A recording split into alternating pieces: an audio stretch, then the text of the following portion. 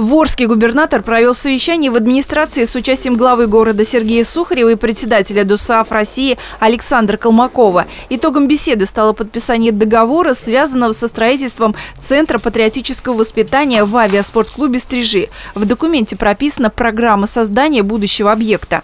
Патриотизм – это сейчас тот стержень, который должен объединить всю страну. В том числе мы видим и свою задачу – как ДОСАВ России, что мы должны принять участие во всех этих проектах. ДОСААФ софинансирует строительство центра. Александр Колмаков сообщил, что к декабрю в Стрижах будут стоять 40-метровая парашютная вышка и современный воздушно-десантный комплекс. После подписания договора делегация направилась к посту номер один. Это единственный постоянно действующий пост в Оренбуржье, который не прекращал свою работу более 40 лет. Вот эта работа очень нужна, особенно для подрастающего поколения.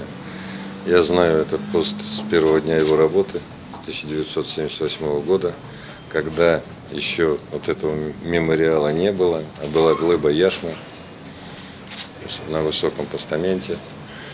Знал Александра Абрамовича Ржевского, Геннадия Ивановича Селезнева, всех. Вот, и работая в школе, здесь бывал очень часто.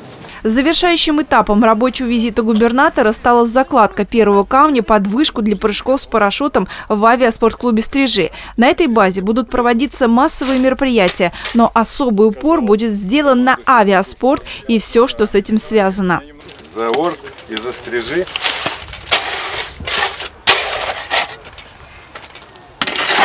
было бы неправильно, если бы мы забыли про Оренбургскую область. По планам, в будущем центре появится взлетно-посадочная полоса, выставочный комплекс военной техники, танкодром, воздушно-десантный комплекс, автодром, скалодром, аэродинамическая труба, стадион и многое другое. Елена Давыдова при содействии Орск.ру. Новости дня.